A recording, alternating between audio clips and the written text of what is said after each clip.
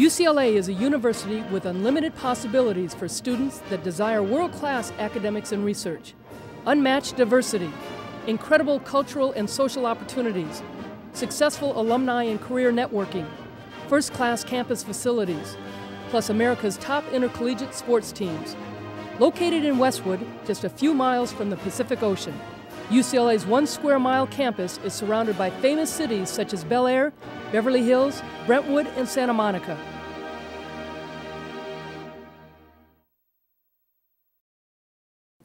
Hi, everybody, and welcome to UCLA Bruin Talk. Alongside Naomi Manea, I'm Dave Marcus. UCLA has always been a women's sports powerhouse, and women's sports are going to take center stage today. A couple teams with high hopes, one heading into their tournament season, and the other one just getting underway. We'll talk to a couple of great swimmers in just a moment. Before we meet our first guests, let's take a look at the upcoming events.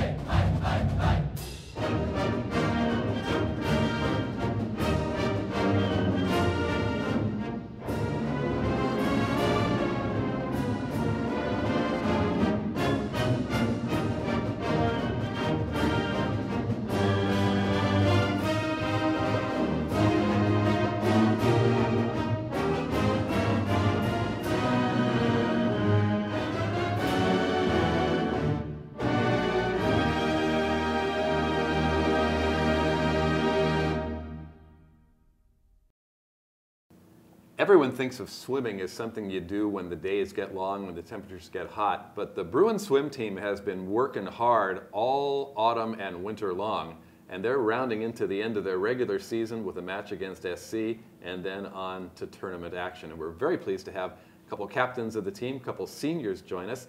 Dani Milligan and Sam Vanden Berge, thanks for coming on to Bruin Talk. Thank you for having us. Yeah, thank you. Now, Dani, the season we mentioned, it's almost over. Can you Mm-hmm. imagine your senior year flying by so fast? No, it's kind of hard to imagine. You hear like everyone say, oh, four years go by so quickly, but senior year's here and it really does just go by faster because I think you already know what's coming and you already know what to expect, so it all just kind of comes one on top of the other. Sam, your home schedule's done. You have to go to SC. What's Yeah. it like getting ready to have that crosstown rivalry? Well, it's pretty much like a, a home meet. You know, we have like so much support down here in SoCal, and so it's just like great atmosphere. Both like um, all of our parents come, and then you have the SC parents come, and so it's just it's really great. We mentioned that you're both seniors and captains. How do you guys portray leadership to your younger teammates? I think just by example, we're both distance swimmers, so we're oftentimes putting in a lot of the yardage. We're there for most of the practices each week. Um, just trying to give the freshmen um, some motivation, something to look towards, um, showing them how to swim in fast-paced dual meets. I know this past weekend we had um, one of our fastest-paced dual meets against the uh, two North California schools, and it was just funny to watch the freshmen kind of not used to the pace and just kind of show them, you know, it's going to be okay. Well, w- when you say that, what do you mean by fast-paced dual meet? You don't just get in the water and swim as fast as you can? Well, like we're dual meets that usually um, we've had home meets, and we usually take our time. Um, we have like one or two heats, but this weekend we had only one heat, and it was pretty fast. It was just boom, boom, boom, boom, boom, and then you have your little rest, and then boom, boom, boom, and then another rest, and then the meet was like over. How do you prepare? How do you get the mindset ready for something that's going to move like that? Um, I think we practice it every day, so we're like really prepared about it, and um, we're used to the fast-paced, always going. So I think we were. Pretty yeah. Swimming workouts are legendary. Uh, tell us what a typical practice day is like. When are you in the water? So we usually wake up around 5:30 in the water, probably by like six. Uh, swim for about hour and a half, two hours. Then we go into the weight room, uh, probably around like eight, 8:30. uh, work out for an hour down there, and then usually it's a practice in the afternoon from around 2 to 4.30 with running or yoga or some type of dry land before or after our swim practice. Okay, when you got to the part where you were coming out on the water after the morning practice, that's when most students are getting up. Yes. When do you fit your classes in with all that swimming? Um, it's kind of been you have to like figure it out for yourself. I know a lot of the girls will take like from nine o'clock class till around one. Um, some people do some night classes that go till around nine at night. Um, just kind of personal preference. Sam, both of you have been great students throughout your careers here on Academic Director's Honor Roll. It's really hard but important to keep your grades up. How have you been able to do it? Um, I think swimming allows you to have really good time management skills. And I think with the whole having to like schedule your classes around swimming, you like learn like your priorities. And I think Cindy um, is always on top of us Cindy about Gallagher. Our, yes, Yeah. our coach. She's always on top of us about like our grades. Um, I think that's like a really big reason why we were the number one like GPA overall this year. So far this season, you guys coming in with a record of nine and three. It's not been an outstanding season. What factors have come into play to make that happen? Um, this year we really we've had a like very good base of like athletes. We've had strong distance with our class and like really strong swimmers, and then they, we brought in a freshman class that just had some awesome sprinters, um, and they've really helped us with our relays and our sprint events. And I think just as a whole we're stronger and just a more united team this year. It's been a really good team atmosphere. Dani, you're an intermediate distance swimmer. Sam, you're a distance swimmer. I, I, I can't imagine the mindset that allows you to go distance, to just keep going, going, going. Seriously, in the middle of a, of, a, of a practice or in the middle of a meet, what are you thinking about while you're in the middle of swimming a distance event? Um, well, it hurts. I'm not gonna lie. um, but you really just have to think of like your other competitors and like what they're doing, and just like focus on like yourself and like your goals, and like you just keep going and going. I mean, When, when you're swimming, Dani, and uh, you've got competitors in all the lanes, let's say you're in one of the middle lanes, uh, how, how far really can you see side to side to get an idea of how everyone else is doing? Um, you can usually see, I see like usually two people over maybe the side of the pool. Um, but you really kind of just look at the people next to you, and we go in with a race plan. And the fun thing about our races is that they aren't a 50 freestyle, they're not 30 seconds long. It's, the mile's about 16 minutes long. So you have like a race strategy, and you go in there, and it's kind of fun to like play around with your competitors. Like if they get a little bit ahead of you, it gives you some motivation to get them, take them down. It's kind of fun. You mentioned something called a race plan, and I imagine that the pace of swimming is important regardless what length you're swimming. Do you pre plan that ahead of time and stick to it, or do you kind of just see how things go? Um, in practice, we usually focus on um, having our paces set for us, and so we know in our mind like what we have to go. And so we usually do a couple sets with paces, and we just keep going constantly, trying to keep that pace up. And so we're pretty prepared once our race comes. What, how fast, the feeling we have to go. Tell us about the leadership role that you have to assume as captains of the team. What, what are your responsibilities as captains?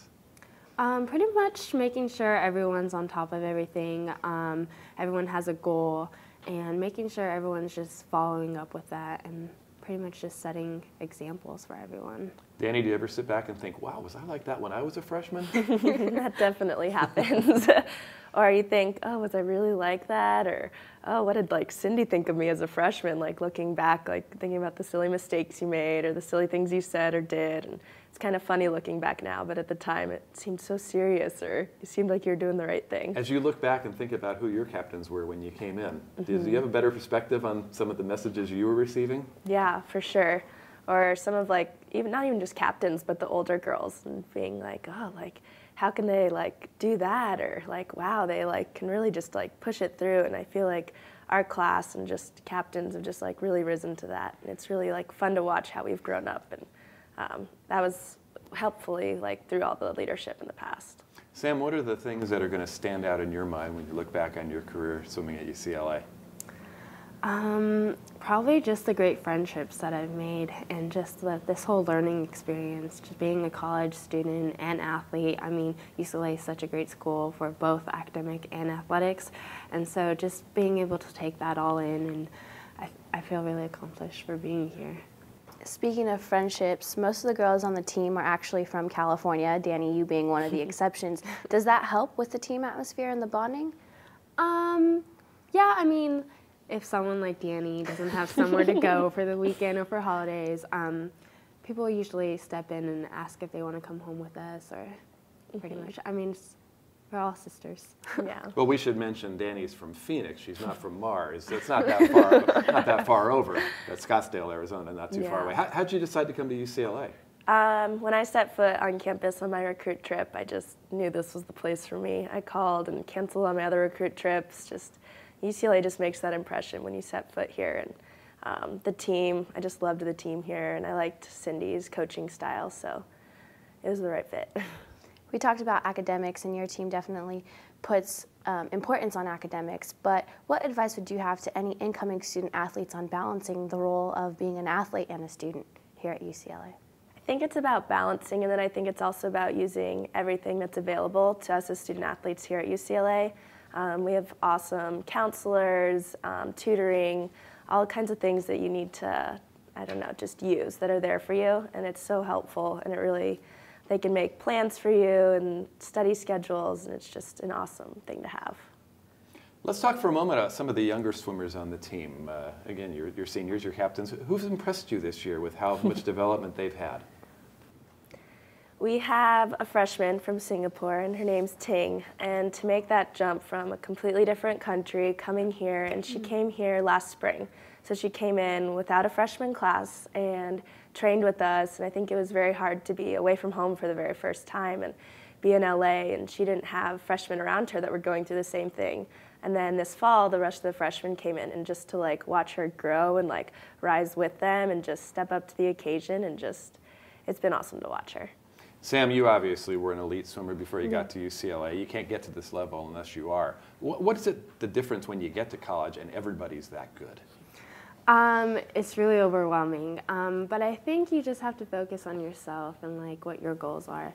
And I think um, the transition from being such a like a high standard and then coming into college and people are even higher than you, it's it's really overwhelming. I was pretty in, I was in shock. Um, my freshman year and sophomore year, NCs were the fastest they had ever been, and I would have made NCs um, my senior year high school, but I didn't my freshman year just because of the new suits and technology. And I think I was able to appreciate the sport a little bit more, knowing that I had to work even harder to get to the NCs, and that was a really big goal of mine, and I did it last year. And so it's an amazing meet. With Pac 10s just around the corner, what do you two do as individuals or as a team to stay motivated? I think this is one of the easiest times to stay motivated. We start to taper and we get, um, there's a lot of energy going into the SC meet, um, crosstown rivalry, and then I think that energy also just carries to Pac-10, the like final meet of the season um, for a lot of our swimmers, and just gets like really pumped up to try and go some best times to just be the best that we can be.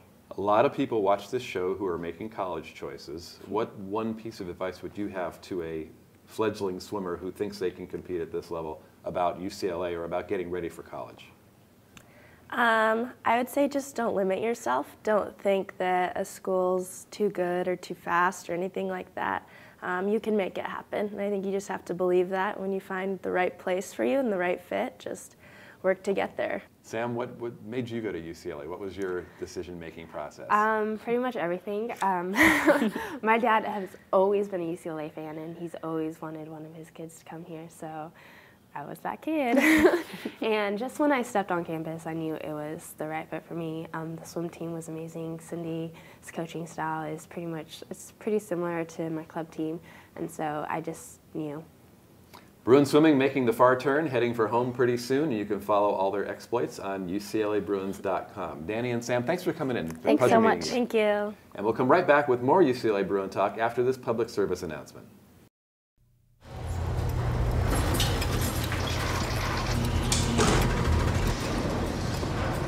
Trophy can be made just about anywhere.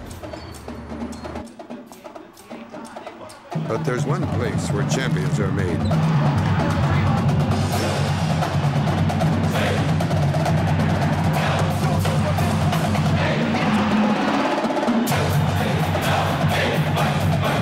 UCLA, champions meet here. Welcome back to Bruin Talk. Before we meet our next guests, let's take a look at this week's Athlete of the Week. This week, we honor KK Clark of the women's water polo team as our Student Athlete of the Week. At the Michigan Invitational, KK also scored a combined three goals against Northridge and Michigan. When the Bruins returned to Spieker to open up their season at home, KK opened up play with teammate Kelly yesterday in the second quarter. By the end of the match, KK scored a game high three goals to take the team past Long Beach State for a final score of 11 to 4. Congratulations, KK Clark, and good luck to the rest of the team. If you would like additional information about UCLA athletics, please visit our website at www.uclabruins.com.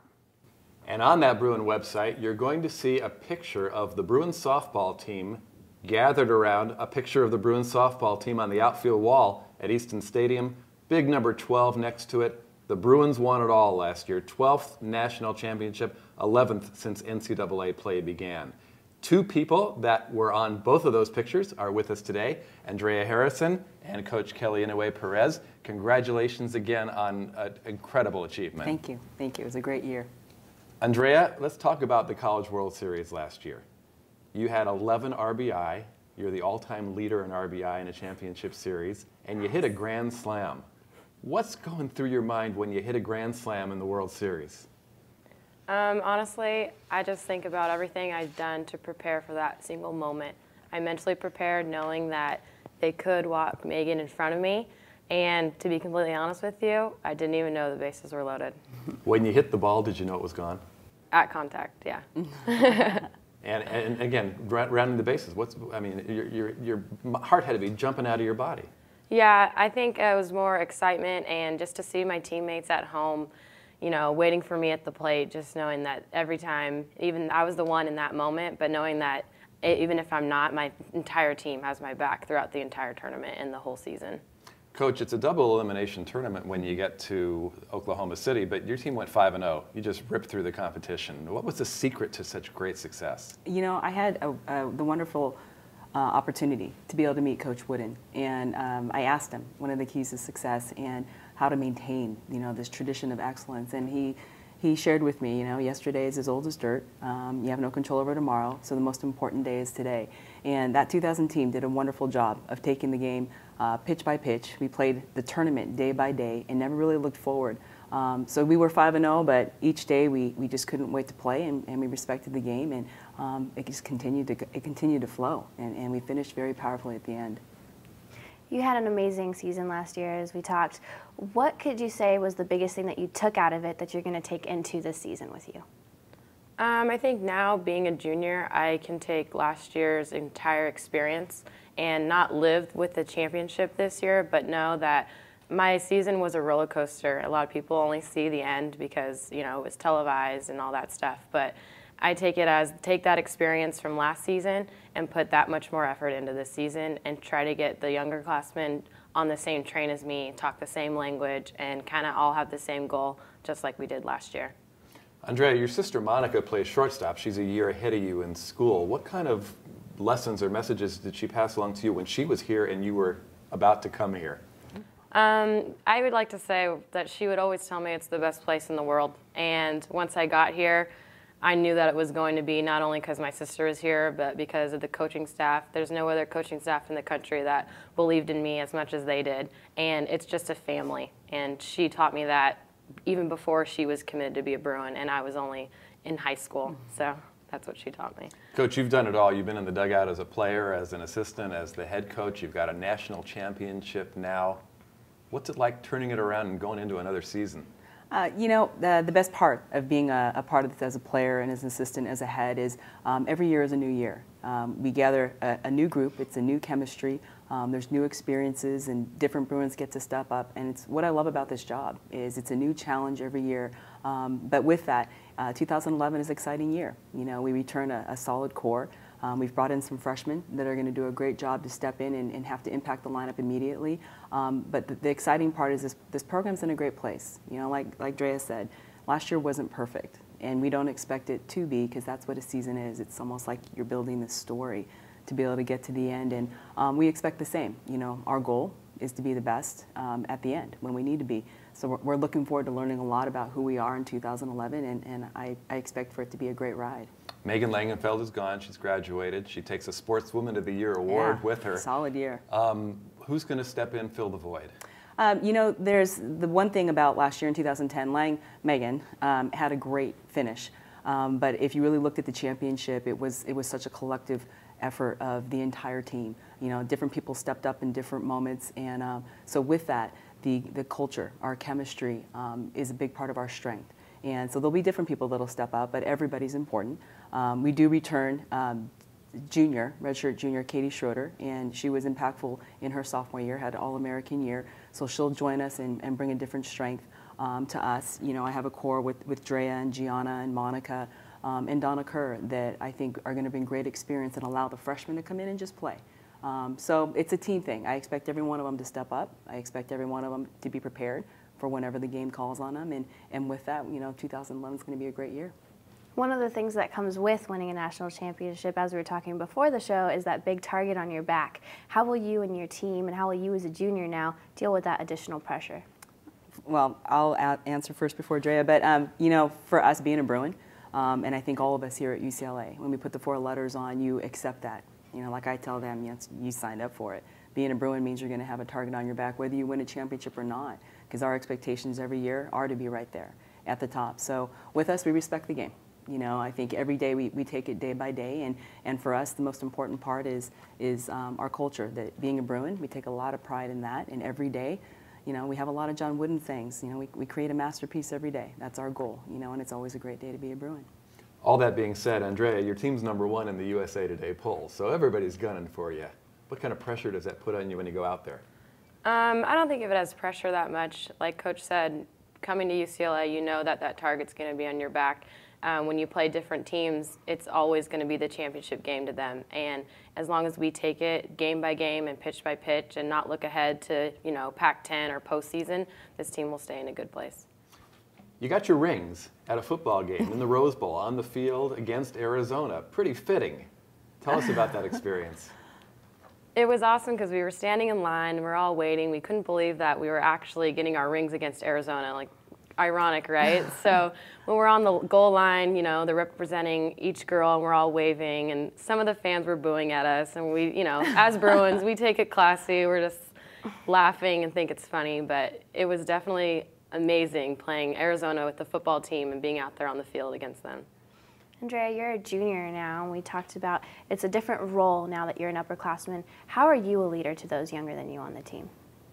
I think just representing the four letters on and off the field um, by putting in my best effort 100% when I'm at the field, in practice, even when nobody's watching, and to kind of preach to the freshmen that this is what we do as Bruins. And I kind of just want them to see that this is the best place to be. And it's just a dream come true to be here, and they love it. So it's kind of easy for me to do right now because they enjoy being here.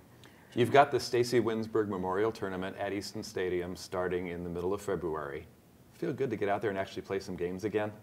Definitely. We've been practicing every day since after the 1st of January, and it's awesome to see the team kind of come together, work as an entire group because it's mostly individuals and scrimmaging, and now we can kind of see what we're going to put out there on game day. And it's exciting to play at home in front of your fans at your own stadium it's a good place to start off the season. And Coach, after that opening tournament, you, you don't come back until March 21st. You've got some tournaments out of the area, the Cathedral City one, which I always think is a great tournament. It is. Um, how, how, does traveling early in the schedule prepare you for the kind of things you're going to have to go through when you get to Oklahoma City? You know, I think uh, this part of the season, um, we literally break down the season uh, um, phase by phase, and you know, fall is building our foundation, and we, res we respect the program. I spell out Bruins, building the foundation in fall. R is for respecting the program over break, and right now we're in the in the U phase, which is it's kind of a team unity um, time. We'll travel, we'll deal with adversity. They still have to do well in school. Um, we learn a lot about ourselves, um, and I think it's just a great opportunity for us to kind of get out there, see what we're made of. You know, it's a grind. It's about five tournaments in a row. Um, so you know, we really start to pull together. They get to know each other on a whole different level. Um, so we look forward to it. Um, but it's also a challenge. And then we, we shut down there for, for school before we open up Pac-10. Do we get to hear the INS part of it? Well, then the I is right before um, Pac-10. We it's Ignite, so we kind of pull together, and it's time to it's time to go. Um, and then second half of Pac-10, right before postseason, it's end. So we never let up, knowing that postseason's around the corner. Um, and if we take care of all of that, then the S is the success phase. You know, now we just get out there and we do what we do. Andrea, let's talk a little bit about conditioning. It's a long season. Uh, I know you're working on drills now, strength, all kinds of things. How do you get at your peak physical condition without getting burned out by the end of the year? Mm-hmm. Um, the coaching staff does a good job of keeping us in shape. Uh, we condition throughout the week, and even on days that it's not conditioning days, we lift and also do running at the field, whether it's sprints or foul poles or anything like that. It's also really important for us to know what we're eating. I think that had a big impact on us. We were hydrating, you know, throughout the entire season and eating right. And I think the conditioning we started early on, and it showed in the end that we were not fatigued whatsoever. I know that you said that you've been working hard this last month to prepare for the beginning of season. What are practices like now, just at the beginning of season? A little bit more intense. Um, we do a lot more live pitching, um, live defense and we just like to put different players at different positions just to see who who's going to be there because you can't expect there to be one person there the entire year. There could be an injury or whatnot. So it's more team. Definitely, we work on you know team sack bunts and stuff like that. That makes us kind of come together as a group, and we rely on each other. And if one person doesn't get it done, we know that the next player will. So it kind of brings us together for the season. At the start of our chat today, I talked about the new banner that's gone up on the outfield wall. And it's a unique thing where the banners actually are a bit of living history. You've got pictures of all the championship right. teams. You look back at some of the earlier teams and think about when you were a young, young girl thinking about playing softball. Some of the players that you probably looked up to are out there on the outfield wall. Definitely. I would say it's an honor to know that my face is on the outfield wall up there. Sometimes us as outfielders, we even joke around. We're like, "Oh my gosh, our face is still out there." you know, you know, you're up there with Dot Richardson and Lisa Fernandez, and you know, last season was an amazing year, and I honestly, it's an honor to have that entire team up there on the banner. And we thank you both for coming in. Thank Congratulations for you. last year and good luck this year. Thank you. And thank you for joining us on UCLA Bruin Talk. Naomi and I will be back next time with another great show. Until then, so long for now.